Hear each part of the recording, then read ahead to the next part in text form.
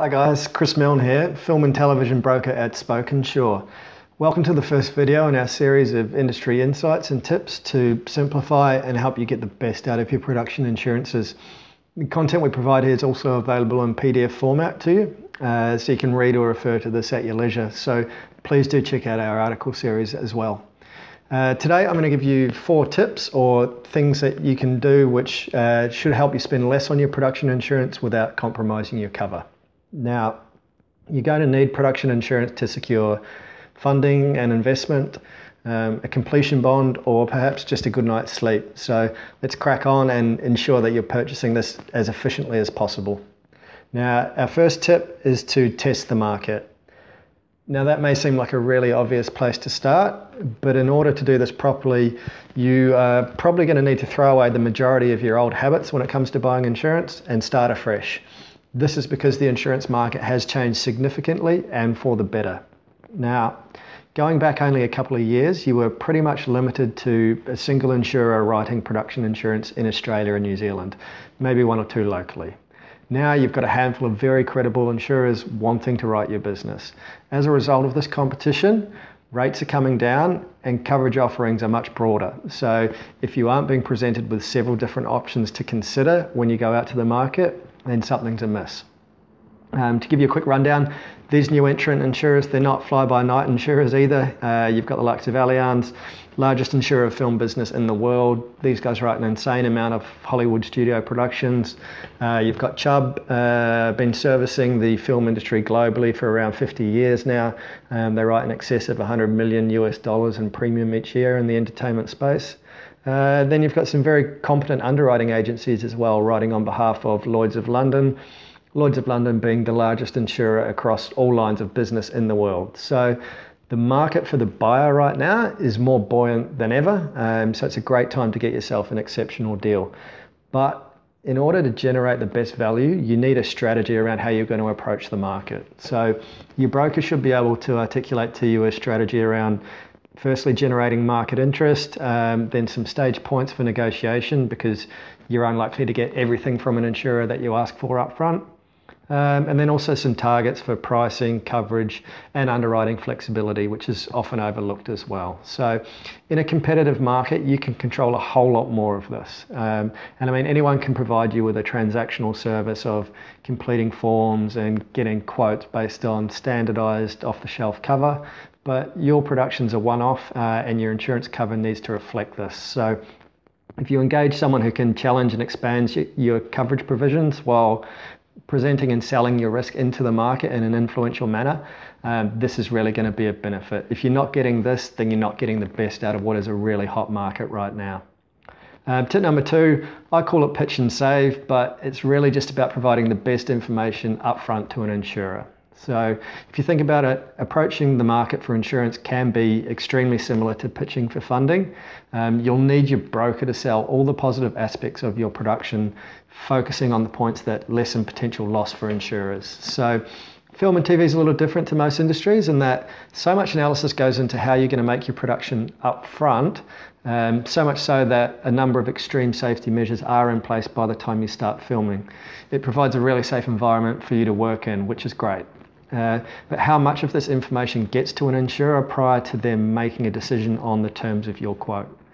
Having worked for more than a decade in film insurance as both an insurer and as a broker, so both sides of the fence, I can pretty much say the answer is not enough. This is because the type of information that's going to appease an insurer in, in this respect isn't asked for in those basic proposal forms that you all complete the information that's asked for in those forms is relatively high level, and I guess in some ways it's designed to give the insurer comfort over the risk. I'd say it makes up around about 20% of what they actually analyse when they're underwriting your production. The other 80% that's not asked for on those forms, that's the type of information that's going to get you the discounts. And if you don't provide it up front, insurers assume that those things aren't happening. So let's, let's give you an example. Let's say you've got a million dollars worth of film equipment on hire for a production, and the insurer form asks you, where will the equipment be kept overnight when not in use? And you quite rightly answer, it will be kept in our locked production offices at X address. Now, the insurer is probably going to be comfortable enough with that, you're taking a level of proactive measures to protect the equipment. Um, but alternatively, if you said it will be kept at our production offices at X address, which feature swipe card entry on two sets of doors, is fully alarmed uh, with central station monitoring, um, has after hours security patrols, bars on all windows, and once inside the premises, the gear will be further secured in a storage room with deadlocks. Now, both of those responses may be true and correct, but the second is far more likely to secure you a discount. So, I guess my point is, you all put a huge amount of work into making your productions as safe as possible, but many of you just don't shout about it enough. So, spend some time with your broker, building out your submission to insurers, focusing on all these positive measures that you already have in place. Um, don't just ask, answer the questions that are in front of you, go above and beyond with your information, and this will definitely save you money. Now, tip number three, and there are two key messages within this. Firstly, remember cover is king. Uh, and secondly, think about efficient ways to insure. So, let's be honest, nothing costs more than claims which aren't covered. And with increased competition comes more opportunity to broaden your cover. So, almost daily, we see circumstances that wouldn't have been covered a couple of years ago now being supported by insurers. Um, there's so much more scope. Insurers are really trying to differentiate their offerings and they're giving you more and more where you push for it. So make sure you do push for it and don't miss out. Uh, through a solid understanding of the possibilities of cover, you can transfer a whole lot of risk to an insurer and off your own balance sheet. And while we're on that point, uh, someone else who really loves broader cover is a completion bond provider. So, if you think about it, the more circumstances you have covered by insurance, the less gaps there are that need to be picked up by the bond provider, which conceivably should result in a lower bond cost for you. So, that can be another major financial win. Um, it's also worth giving some thought to policy structure. Quite often, people don't give enough consideration to the impact of things like increased excesses being the first portion of any loss that the production is still responsible for paying. So, if you were to save $10,000 on your premium by increasing your cast excess by from 5,000 to 15,000, so by that $10,000 amount, would you consider it? Um, I guess in the best scenario, if you run claim free, you're 10 grand better off. If you have one cast claim, you're in the same net position. And when you consider the funds that sit in the contingency line of your budget, uh, you know, normally around the 10% mark, which could potentially cover the increased excess if called upon, then you could easily push the excess out to a point where the premium saving makes a lot of economic sense. Um, from my personal perspective, in my time as an insurer, I seldom saw people creatively structure excesses and cover for financial benefit, um, and it's definitely a point worth considering. Now, my last tip to you, um, I've termed it hold on to your aces, but really what I mean by this is allow your broker to do the best job they can for you. Um, and this relates to leverage. So we see it so often uh, where a producer contacts multiple brokers in order to get multiple quotes. Um, I guess in some ways we're conditioned in terms of insurance to do this to get value. Uh, we all think more quotes equals more value, right? Um, or at least that's what commoditized insurance like car insurance would have you believe. Um, but when it comes to film and TV, one broker can get you those multiple quotes. In fact, they should be. So by having multiple brokers going into the same markets, um, all brokers lose their ace up the sleeve, which is leverage.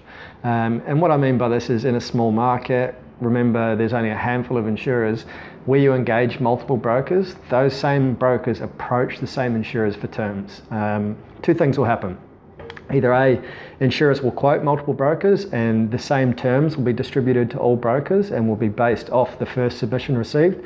If this wasn't the most complete or influential submission, you may have lost the chance for better terms and pricing.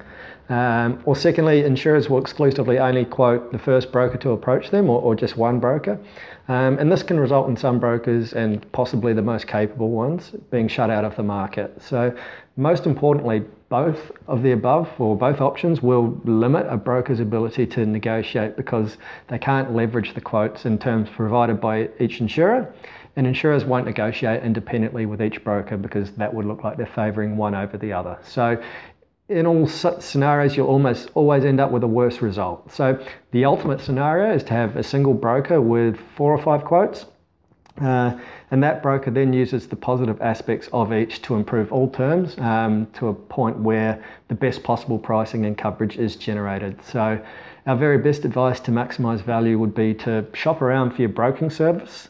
Um, and give your selected broker the tools to perform for you. So find the one that will A, achieve the best result for you by way of competence and market knowledge, uh, and B, is someone that you enjoy working with because um, they need to be the person that you'd want to, to have on the end of the phone should the worst occur. Because um, ultimately, when you purchase your production insurance, what you are buying is a relationship and a promise in the event of anything going wrong. And above all, that's really where the true value lies. So there you have it, four very easy tips you can use when next arranging your production insurance. Um, they probably seem very simple in isolation or when explained. Uh, that's because they are but when applied, they will have a significant impact on your insurance cover and spend. Um, very quickly summarised, number one, you're now operating in the most competitive market that I've ever seen in Australia. Um, what this means is you have the best opportunity ever for a cracking deal, but in order to get this, you need to ensure that you're approaching the right markets and in the, in the right manner. Um, so, with that respect, test the market, but do it using the right tools and strategies. Number two, spend some time with your broker putting your submission together and asking yourself a lot of what if questions. Once you drill down to this information, you'll essentially create a pitch to the insurance market that earns you the discounts that you deserve. Um, number three, look at some ways in which you can efficiently insure. Uh, you know, do this, play around with your coverage and excesses, uh, different structures, and most importantly, push hard for more cover because it is available and it will help present, uh, prevent uninsured losses. And number four, give your broker the best tools to do a job for you by choosing your broking service first and then empowering them to get out there and negotiate with all parties on your behalf. If you're just getting a transactional service uh, from your broker so far, then it may be time to look at and explore other options. So I hope these help all of you doing great things in the industry uh, and wish you all the very best with your productions. Thank you.